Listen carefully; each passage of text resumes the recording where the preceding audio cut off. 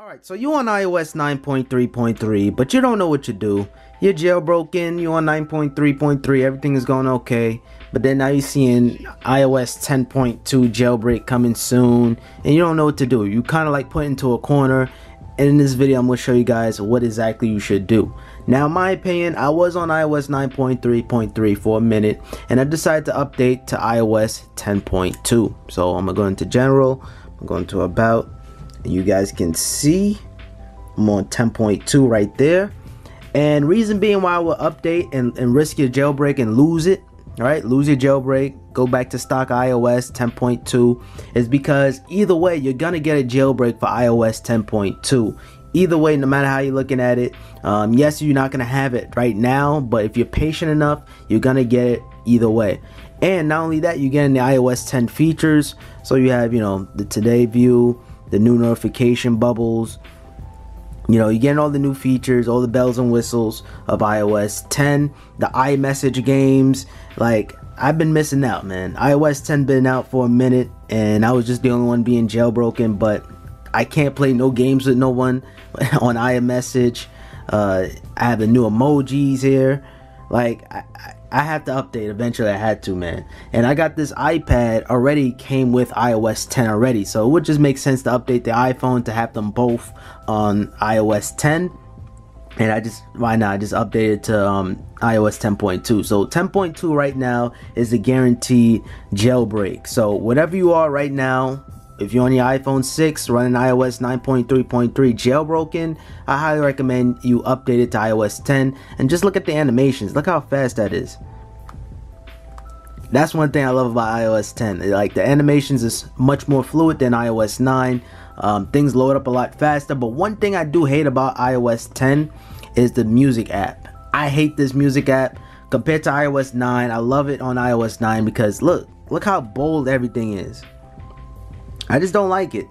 I really don't like it. Everything is just big for no reason. Like, um, look like my grandmother's phone. Like all the numbers and all the words, it just looks big for no reason. And I'm, I'm a type of dude to like have everything small, not too small where you can't see it, but small enough where it can fit on the screen. And um, iOS 10, the music app, is just like everything just blown up for no reason. And I don't even have bold settings on. Yes, I gotta renew my Apple Music. Keep in mind, guys, you might be good now, whoever's jailbroken on iOS 9, but you gotta also look at the other side too.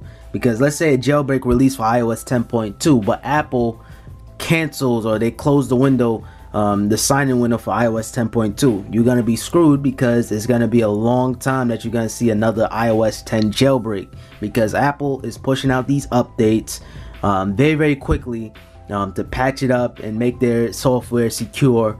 So if you want a jailbreak, if you want a jailbreak inside, be like me, update these devices right now before Apple closed the window. Um, I'm gonna show you guys how to update it real quick. Now, very, very simple. Once you go into the site, I throw a link in the description, um, ipsw.me. You just select your device, right?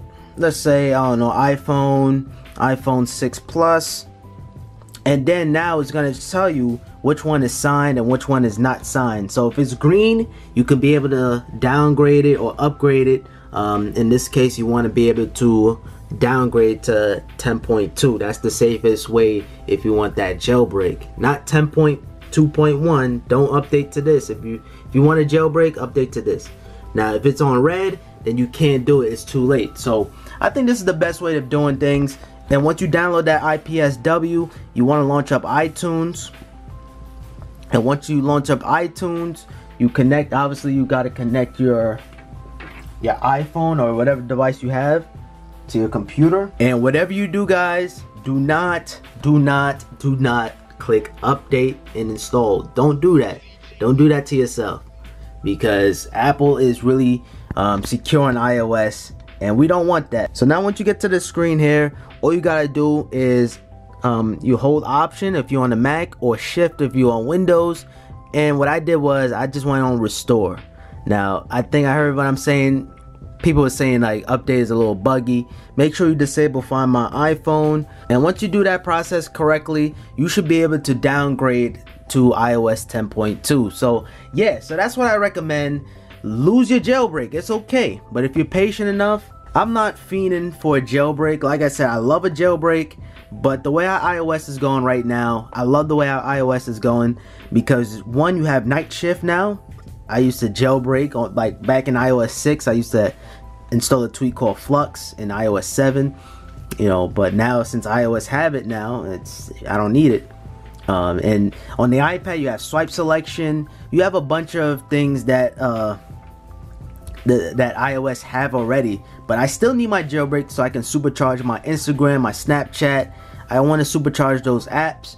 Um, and I, I just like that, man. I definitely do like that. And I like the freedom of jailbreaking. You know, you can do anything you want that you can possibly think of. And that's one thing I like about jailbreaking. So, yeah, so hopefully you guys find this video beneficial. If you guys did, appreciate it with a thumbs up, share, and all of that, man.